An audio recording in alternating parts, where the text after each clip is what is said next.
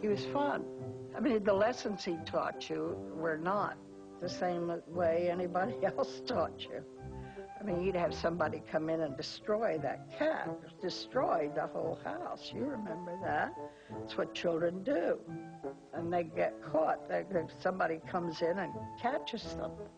He, he had that vision.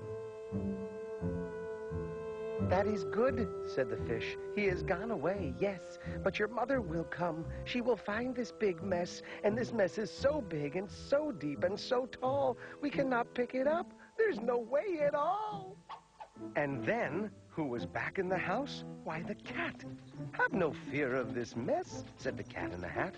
I always pick up all my playthings, and so I will show you another good trick that I know. And he put them away. Then he said, that is that.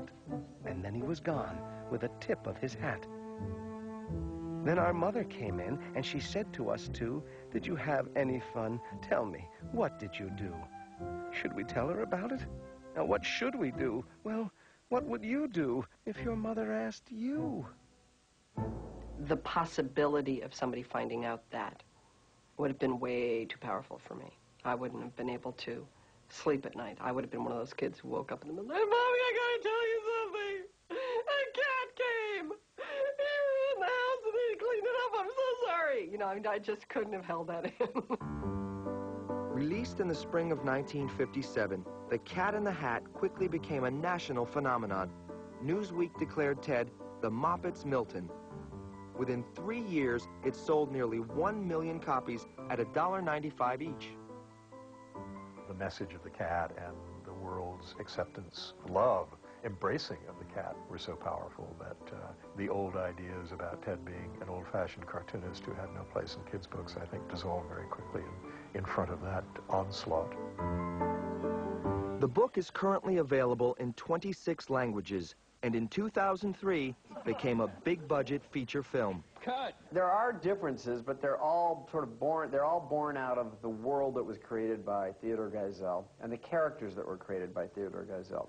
And we've made them extreme. This cat should not be here. He should not be about. He should not be here when your mother is out. He once said, when I'm gone, things will be different because the creator will be gone. And there are different ways to look at this. That on some level, things may be happening now that he kind of sniffed his nose at. We had read Dr. Seuss to the children. There was a nice, lovely rhythm about what he wrote. But when Random House published The Cat in the Hat, I flipped. Bennett Cerf's wife Phyllis joined Ted and Helen Geisel to form a company that would publish books intended for very young children to read by themselves. Random House would be their distributor basically what my mom and Ted and Helen did when the beginner book started was to take the Dick and Jane formula, to take the exact vocabulary that those books used and the same way of, of introducing a few words at a time and only putting a few words on a page and just say, this is going to be crazy instead of it's just going to be look at this and see that. But these books sold in a way that nothing Ted had written before sold. 20 years after his first book for children, Theodor Geisel became Random House's best-selling author. His book royalties were a mere $5,000 the year before he took the Cat in the Hat Challenge. In 1959, they totaled $200,000. Dr. Seuss was hailed as the savior of children's literacy.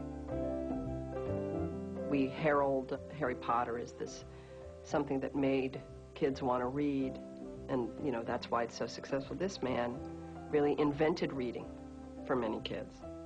And that was really the beginning of Dr. Seuss's real fame.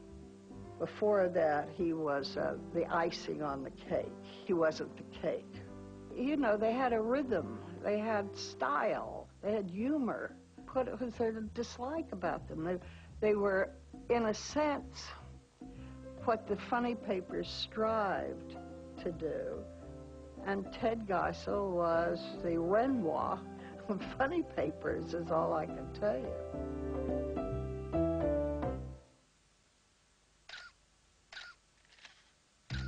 The cat in the hat phenomenon forced a private man into the public eye. Ted Geisel, who hated crowds, cameras, and interviews, had one more challenge to face children. Had had almost no experience with them, so he didn't know how to act around them. He was a naturally shy person, even around adults. But with children, that shyness was magnified tremendously. At the beginning, he was sometimes quite stiff. As he made appearances, he got better and better and realized that talking to them as, as he signed was uh, something they liked. And, and Ted was a person who really cared about pleasing other people. For a man who linked so beautifully in writing, he seemed, he said, to be genuinely afraid he'd disappoint them. It's part of the insecurity thing. He thought if they looked up and didn't see a clown or Santa Claus, they'd think he was a phony, and that he couldn't bear. There are famous stories of kids coming up and knocking on his door and asking to see Dr. Seuss and him saying, I'm Dr. Seuss, and them going, no, you're not. You know? he never made it sound like he was bitterly disappointed that they were disappointed. He just thought it was funny. Geisel's publisher would receive as many as 1,000 letters a week addressed to Dr. Seuss, ranging from requests for money to birthday greetings. Dear Dr. Seuss, I used to have a cat, but he got run over. Happy birthday, love, Sarah. Ted called his few weekly responses cat notes and often composed them in Seussian verse. Some of the boys and girls want to know if you give people injections, and do you give them things to make them better? Does anybody want any special injections? No. No, I, I don't think we, we will give no injections today at all. I don't believe that he held kids to live in some mysterious place, certainly, that he couldn't plumb. I think he had a wonderful natural affinity for it. This tidying up machine, how does it work? Well, sometimes it doesn't work at all. Oh.